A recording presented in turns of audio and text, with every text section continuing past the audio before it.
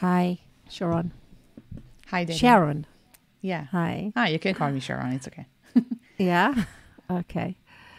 So I'm sitting here in Israel and you there in England.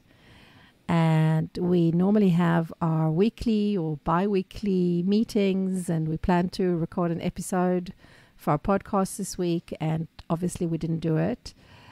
Uh, nobody was in the mood, and we couldn't even think about it. And, but we decided today, which is the sixth day to the war that's going on here in Israel to spend a few minutes and speak to one another like this and record the conversation.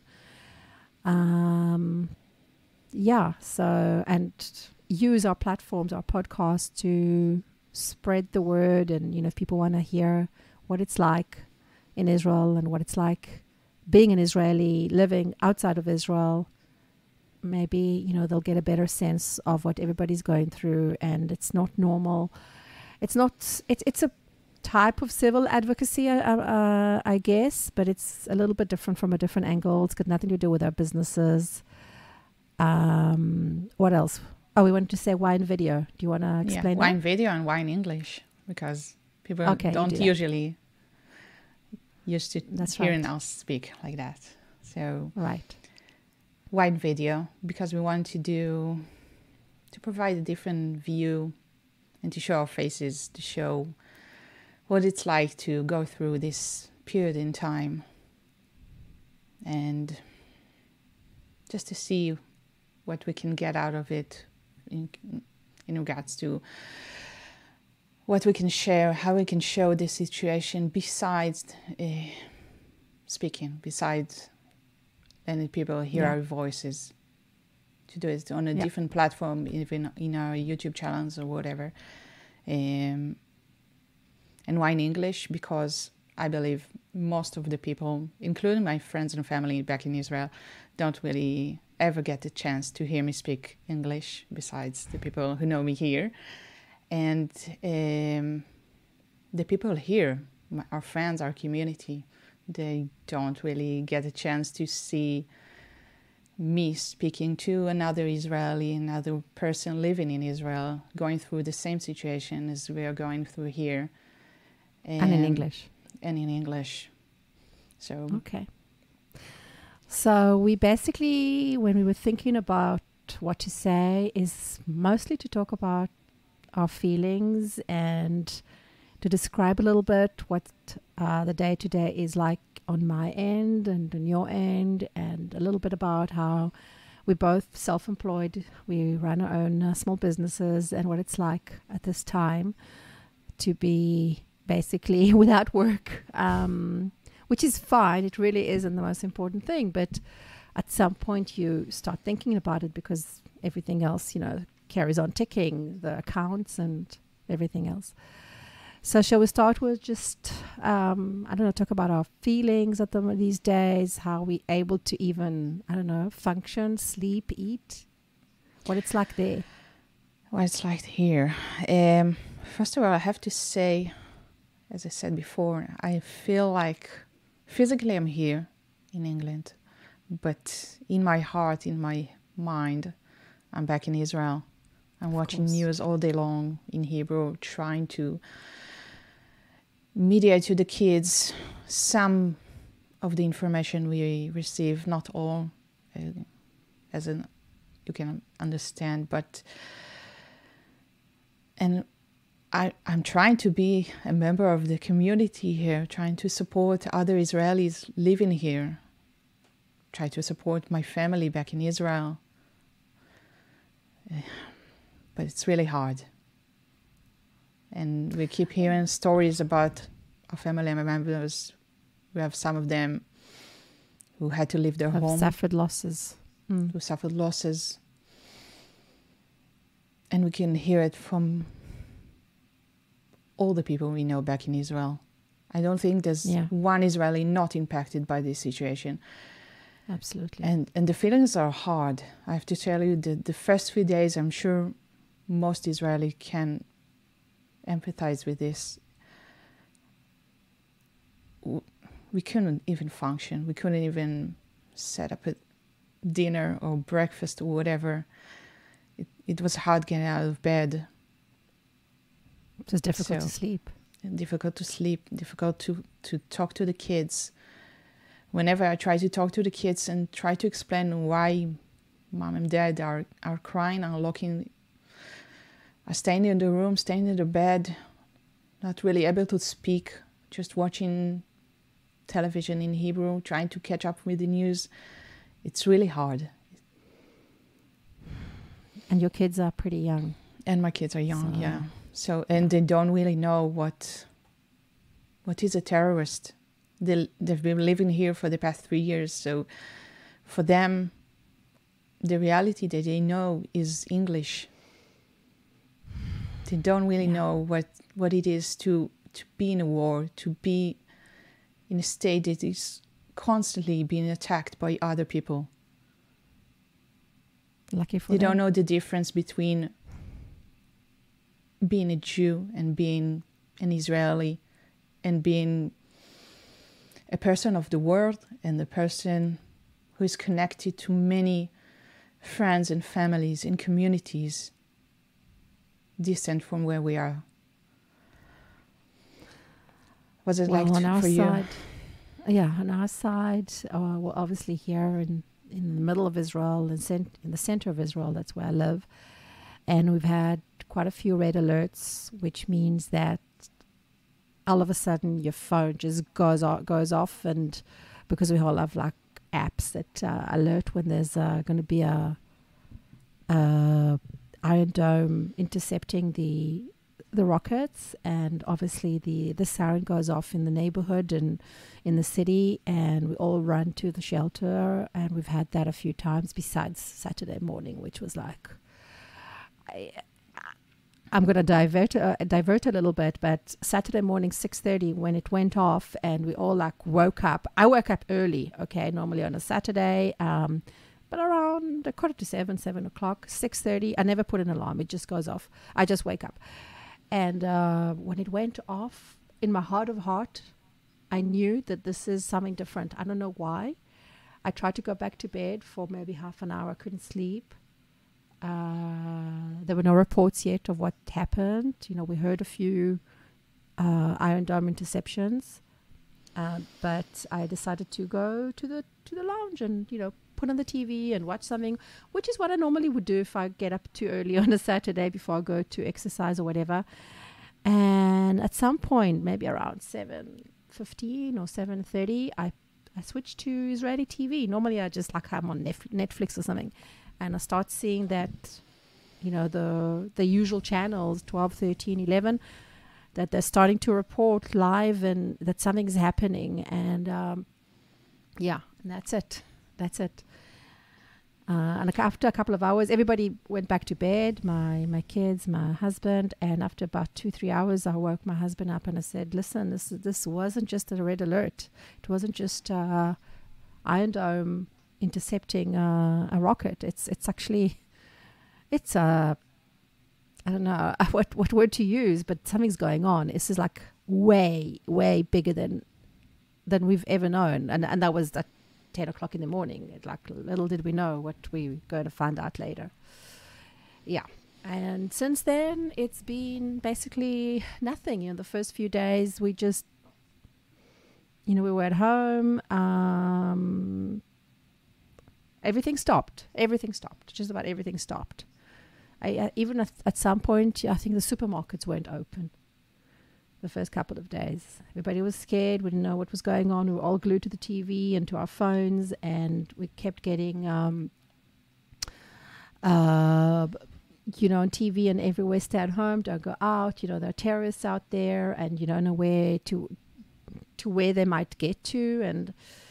Uh, so obviously, there's no school. There was no school. There is no school yet. Uh, we don't know. The, the kids were supposed to go back to school on Sunday or Monday, and uh, they're saying that maybe on Sunday they will go back, but I don't know. I don't know. And I think a lot of parents are not going to send the kids, even in more the, the central areas. Yeah. Um, the gym closed, obviously. um, it only opened, I think, yesterday, and but again, I went to a class this morning, and it was very difficult to concentrate. At some point, there was also we started hearing uh, Iron Dome intercepts, even though there wasn't a red alert, and everybody started scrambling and and then the, the you know the teacher just did some you know some relax, relaxing thing and we just finished because you can't concentrate on anything. You basically mm. like uh, yeah let alone work let alone just about anything. You just you eat because you have to you sleep at some point because you have to and the first few nights we slept with the tv on the whole night which we never do. Um, yeah and it's uh, and amidst all that, I must say that I had a few things with clients that I needed to do some meetings and you know they asked me and asked them is it okay? Can you know you're okay to do the meeting? And I said you know if you're okay um you know let's do it. And we did it on Zoom obviously um but other than that everything got cancelled obviously what else? Uh, no marketing. You can't even. I can't even think of doing anything to do with marketing or business development or. I, think the most I could I could do these days is just play around on Excel. That's the only thing that um, gave me some. I can't even say joy, uh, but it was something I can do. You know, just because it's so mechanical. Just to keep maybe. yourself busy. Yeah. Not to think about the situation. Yeah. Yeah, for us, we I heard my husband was on the phone with his father, and he was in the bathroom, and I heard him through the door. I on heard Saturday. My, my father-in-law. He, he just it was half past six in the morning, which is half past eight in Israel. And they were just starting to get the reports. They were way glued to the TV. Yeah. And and I just heard him say like terrorists infiltrated Israel and started shooting. And right right then we knew something horrible was happening. We didn't know the, the details. I didn't know if my brother in law was safe. We didn't know where they are, were because they're religious, and so we didn't know if oh. it's it was a Shabbat, so we didn't have any way to contact them um, eventually we found out they, they weren't home, luckily, because they live really close by to where it all happened. Not close by, in the middle. Oy. And it was really hard. And we just we slept for that night maybe a couple of hours. And I tried to go back to sleep to catch a few more hours just to keep my strength. But really, it was really hard to to even process yeah. what what's what's been going on, what happened, and it's still happening. Yeah, the the war just begun. People are still losing the loved ones, the family, the friends.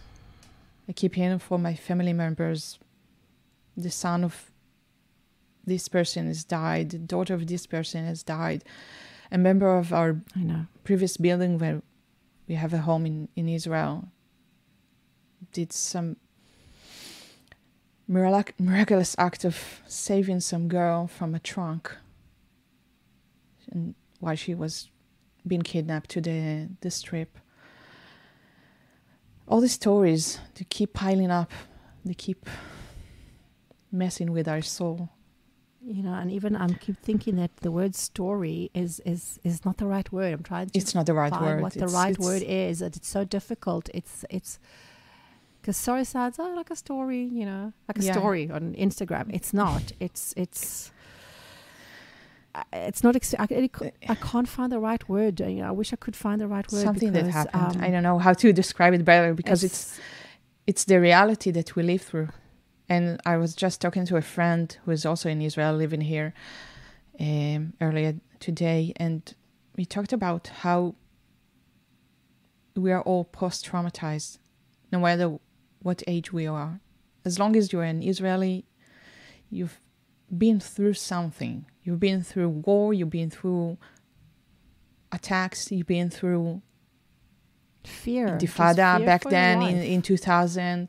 Yeah you've been through a lot and as as a young mother, I remember there was I don't even recall which which operation, which war was it, but I remember taking both my girls. My husband was in the IDF. Tzuk Eitan probably in 2014. He, yeah, yeah. 13 mm-hmm. no maybe one 14, year later. 14, 14 no, yeah know, yeah yeah that's 14 the one. because I there, remember there were well, only one well. year. And i remember taking them yeah i think i was i was even at the beginning of the pregnancy with my son or, or just before that.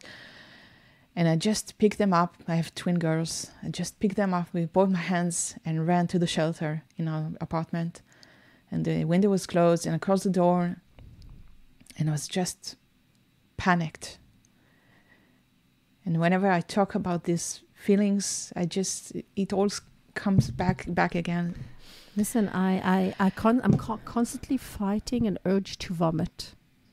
It's like sitting here, and I Yeah. keep pushing it down. And every time there's a new name, and you hear the families recounting, or you just see the names being being Yeah. called out on the TV and the ages. Oh my God, they're all so, most of them are so young. I'm not even talking about the, the people from the rave.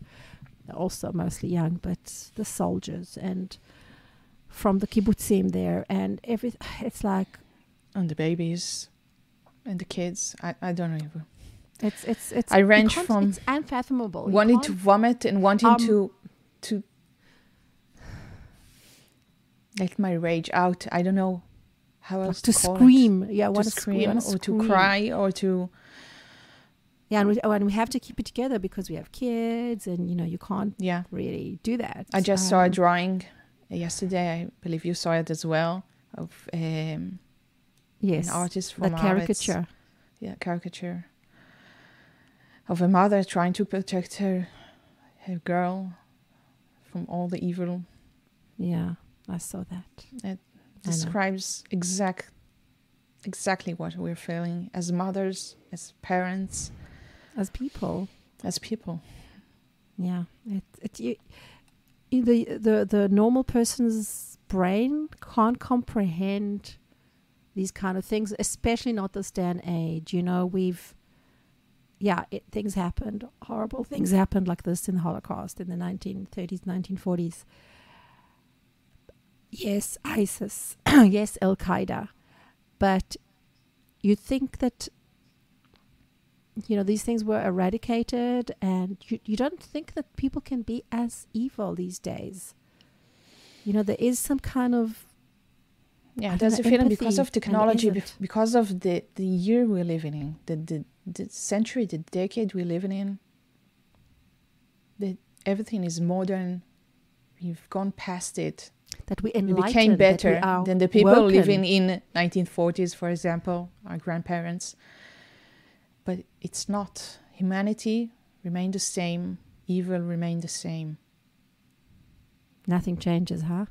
Nothing changes. I wonder if things are going to change after this. I hope that do, they do because we know uh, it's like we're missing COVID now. You know, we think, oh, COVID was a piece of, um, and it wasn't. It wasn't. You know, with all due respect, it really wasn't. Yeah. But all of a sudden, it seems like you know I'd rather have co- be in the COVID era and not in this era. And At least with COVID, um, it was a virus, not people killing not other. human beings. Exactly. Not human beings. Uh, and I don't They're not human consider. beings. The whole I thing. don't consider But they're not them human, beings. No. There are beings. There are. I, I don't even know what to, how to call them. We were talking earlier Um, before we started recording about people abroad, people on the outside looking in to Israel, Mhm. trying to rationalize the, the attack, trying to let rationalize everything that's been going on, or ignore it altogether, not even speak. And I'm trying to explain to our friends over here who are part Jewish, part not Jewish, or English, or whatever. I'm trying to explain to them what we've been through, what we're going through right now, what our children are experiencing, even though we try to keep them away from the news. And it's really hard. I, I'm really lost for words right now. And even maybe they hear this and understand it. hopefully, when it, they hear this, they could somehow relate, somehow try to comprehend some of the feelings, some of the reality that we are facing now. Yeah. Well, another reality I can tell you that I'm, you know, my study is in the shelter in our apartment, and I can show, and I will also talk because some people will be listening as a podcast and not a video. So I found this old very old. I think it's over 30 years old transistor radio that works also on batteries, and it works. It took us a long time to find it in our um, deposit. You know, we have a deposit with a lot of things downstairs, and I kind of I gave up on finding it because we couldn't find it. And then my husband the other day said to himself, "No, no, no, it has to be somewhere." I thought I gave it away or threw it out, but uh, it turns out that I kept it, and just as well. Not that I think we're going to get to use it, but you never know. Because uh, two, two or three days ago, everybody was panicked here because they said you have to have a. Some kind of radio, some kind of means of communication, of, of getting communication that is not based on electricity and Yeah. nobody has those kind of things these days. And that doesn't rely even on um, on wi-fi or internet. And who has that? But yes i found one and it works. So uh, i have that here. It's with batteries obviously. And i have um, you can see here i have a, a mattress uh, if we need to sleep here. Obviously, I have some chairs and other things behind this curtain, and I have food and uh, water and a bucket and chargers, you know, for the for the cell phones, like spare spare ones, cordless ones. Um, yeah, so we hopefully we won't need to use it, but we have to be prepared. And everybody's like was scrambling to get all sorts of things. Um, oh yeah, so another thing which I wanted to, to talk about to just to explain what it's like here. I'm on a million WhatsApp groups, the neighborhood, uh, work, um, all sorts of walks of life. For just about anything, there's a WhatsApp group, and I joined some others now to deal with um, uh, with the civil advocacy, uh, especially people speaking other languages like I do. Uh, they want as many as possible to, you know, to to to put up things on their social media, uh, and uh, the amount of information that goes on, it's just my phone and my WhatsApp were at some point collapsing. Um, it's always very busy, but not like this and and you can see people are not even reading what we write. We, I was involved in all sorts of uh, volunteer um, organizations of uh, you know getting food and and uh, toiletries and all sorts of things to either the soldiers or the reserve uh, duty soldiers or people that have been evacuated from their homes and you know, you, people send messages. Okay, you can bring this and this and that from this time to this time to that place, and everything is written very clearly. Yet people don't read. They keep, they keep like because I also advertised a few of those, and they keep phoning me and writing to me personally. Where must we bring it? And it's all written there. So like you see the people.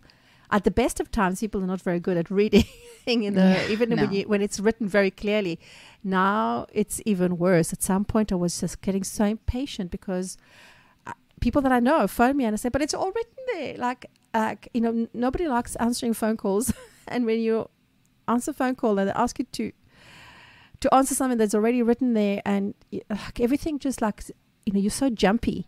And so Yeah. people don't read, and people like keep sending the same mes- messages that somebody else wrote two minutes before. They keep sending the same videos and the same wow, it's like crazy.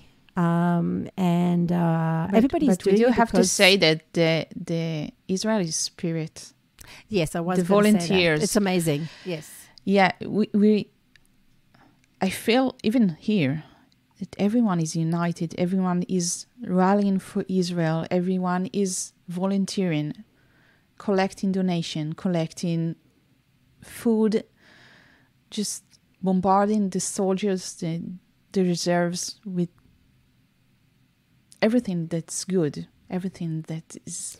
No, no, it, it's definitely It- amazing. it's it's, really uplifting to see that from the out, Yeah. from the outside, but I think living through it, it's even more uplifting, even more. It is, uh, but I kept thinking all the time: Are these things actually going to get to the right place that they need to get to, or they're going to be thrown at some point? And um, I'm sure more, some of it A will lot be of it thrown, will be but thrown most of it is is is getting to the right places. I hope so. I really hope so because um, you know people are really donating from, you know, from their own pockets. And Yeah. as I said, not everybody's pockets are going to be very lined up at the end of this because uh, not everybody's uh, salaries are going to carry on ticking. Um, and people that are self-employed, I suppose most are not creating much work these days. Like you know, in my case and your case as well Yeah. because you also work with Israelis. Um, so it's yeah, it is very uplifting, but uh, I think we uh, always have to be a little bit cautious as well because um, if we donate and donate, and we've also been donating money, not just things, Mhm. you have to think of yourself as well and make sure that. And not all the banks have given you know extra uh, credit or extra I don't know things. Some have, by the way, but um, um, and, and you know a lot of the big things like the big systems, as big systems do, they work. They don't work as quickly as the the us small people would do. yeah, So that's why I think there's a lot of these um, private initiatives. But today, I started seeing that the um, Bituach Leumi, which is like the national, uh, it's not like the NHS, it's more like No, uh, national, like uh, national social security. Social, in social security, yeah. I think would be the equivalent in America. Yeah. Already put up a new like a new thing in there on their site with uh, I put it up on my Facebook by the way, a link that explains like what to do on what facilities there are both financially and um, emotionally if you are uh, if you've been like a victim of one of these crimes or if you have family that if you've lost family or even if you are if you have a panic attack you know because a lot of people are going to be panic stricken. And there's also facilities to I mean, so many people here and and we like we are nothing compared to the people that are you know the first line and people that have also been doing the important yet horrific work of dealing with the bodies and they're going to be traumatized for life then themselves Yeah. they will also need support. Um, so yeah so these big organizations these big um, institutions are finally doing things to to show you know it takes time to organize. You can't organize it within a few hours. It takes a few days Yeah. so things are starting to you know people are starting to think already about tomorrow and about next week and next month and money and all those kind of things so yeah so just be careful not to you know think about yourself as well even though money is not the important thing right now Yeah, but it is important because I saw someone who wrote about it earlier today on Facebook. As people living through this, as business owners, we're experiencing a different kind of anxiety, I think, um, on top of the, the regular anxiety we're experiencing of what will happen with my business, what will happen with my income, exactly. Because it's we we really don't want to think about it because we're trying to stay in the moment and try, trying to be there for our friends and family and trying to be there for our kids. But it is something we're thinking about, and it is important to keep going. If you have any clients, just keep in touch, see how they are yeah try to keep the work going if you can, if it's possible. Yeah, I think. Yeah, and but if you have, but for some of um, us, it's it's it's been quite impossible. as you said, I have only Israeli clients, and I was planning on doing a marketing event next week, and Yeah, I was gonna in ask the you middle of the that. campaign, and I just shut everything down because it's it's really not the time, I, and I don't really have the energy to deal with anything right now. So I just stopped it. I, I'm supposed to send a message to everyone who registered for it and it will be postponed to another time. I don't know when. I was supposed to have a meeting today with a client, and I also postponed it to a different time because she's with her kids, and she's not really available to do that. And it's hard because we have to think about now, and we have to think about how we're coping with the day to day. But we also have to think about the future, the next few weeks, few months, what we're going to do. Yeah. So I think if we can give any advice, any thoughts about this matter that might help someone, that'd be good. Well, as I said, the only thing I can think of really is donate, but don't go overboard if you can't afford it. There are lots of people who can afford it, by the way. I've seen, Mhm. I've been shown do- uh, donations that are being made by millionaires that- who can afford it. So, good. Um, I think th- But that's the only can can think of donate right time or donate from our experience, our knowledge, our expertise. Exactly. exactly. So that's another way to to participate, to help another person, even if it's only just calling a friend or texting a friend on WhatsApp and asking how are you, how are you Yeah. doing, how are you dealing with the kids, how are you dealing with work, and just be there for one another. Yeah. And that's all I've been doing for the past few days because that's all I can. That's all you can do of. from where from where Yeah. you are. Um, and I can say that on, uh, as I said earlier, my WhatsApp and my phone are like, whoa. I've never seen them like that. But one thing that I try to do every day is go into my media and delete because um, I, I normally hardly ever download anything that's uh, that comes through my WhatsApp because I have it defined that way. But I do now you know, because there are some videos that are being sent that are important, or some pictures, or I don't know, PDFs. But I try every few hours and certainly every day to go through and just delete, delete, delete before the WhatsApp does its um, backup. And if it goes into my Google Photos, to also go there and delete what's not necessary. Keep some things, yes. Um, and obviously put away in my Dropbox or wherever uh, things that are important, but also keep the phone with space because you know we can very you know in the next few days people are going to find that their phones are just like running out of space because of all these big uh, videos that are each are a few gigabytes sometimes or many many megabytes. So try and make more space so that you can also record and you can also receive other things.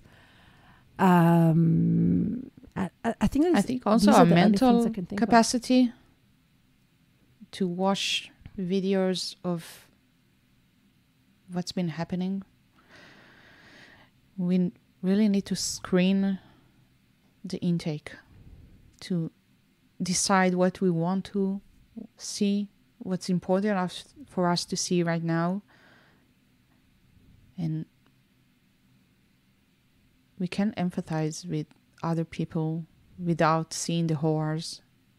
no, I'm not even talking about those kind of things. For example, a friend sent me from overseas, sent me videos of rallies, support rallies that have been happening in Mhm. Buenos Aires and Toronto and Vancouver and uh, all sorts of, or rallies that are pro-Palestinian, actually from South Africa that happened, I think, yesterday. And and you you know you watch a few. It's like they're normally a minute or two. They're not long. I, I watch them once and I delete them because uh, you know, I'm not even talking about the atrocities. I'm just talking about all Yeah. the, which, which is very heartwarming, you know, to receive support and everything. But you can see it normally on social media anyway, and you don't need to keep it. So I'm talking about even those kind of things. Or so, yeah. So that's the only kind of tip that I can think of to give. That and you know, donate your time, donate your abilities. If you're very good at doing something, um, offer maybe it's needed somewhere, even if it's something that you think is weird. Um, but I think these days, it, it what happened is going to ripple through every single walk of life. Okay, even in places that you don't think about, because it just it, it's literally a ripple effect. Okay, um, everything and everybody is affected. So your particular skills in something that you think is very esoteric might be exactly what is needed somewhere that you'd never thought would be needed. And if you can volunteer that, even if it's for a few days, um, it's it's also great. It doesn't have to be, as you said, money. Uh, Yeah. but on the other hand, I you think uh, also even the feeling when ourselves. when you're helping someone else, it it's helping you to yeah, release some of the stress, to occupy yourself with something that's not related to just watching the news or being concerned with the situation. and that's exactly why we. And it's really helpful this, by to the be- way. Yeah. Why are we Yeah. recording this? Because it's helping us, and um, maybe you know it'll help one or two people Maybe as well. help someone. even if it's to understand. And another thing I wanted to wanted to tell you or talk to you about is, um, it's a lot of people don't understand why it's happened, or you know about the history of the conf- the conflict. Okay, what a word. Um, there's a lot of explanations out there. People can't say, well, you know, I was told, I thought. No, go and read, listen, compare. Don't be brainwashed because some celebrity or some, I don't know, are supporting this. Don't be blind. Read up about it, okay? And compare sources. Read or listen, or there's a lot of celebrities uh, that are ama- doing amazing, amazing work in explaining things. Um, I've just I've discovered a lot of celebs that I didn't even know, and they're doing such amazing work. So you know, maybe we can even put in the notes a few of the links to a few of them. Yeah, I think I have Okay. a few links to share. But I think for me, um, in my feeds on Instagram and Facebook, to see Jewish people, even not Jewish people, from around the world, celebrities, influencers, whatever that I'm following, seeing them supporting, seeing them sharing. It's been really uplifting to to see that. yeah, And I even texted one of them, which was an entrepreneur from from the US that I'm following for the past I don't know two years.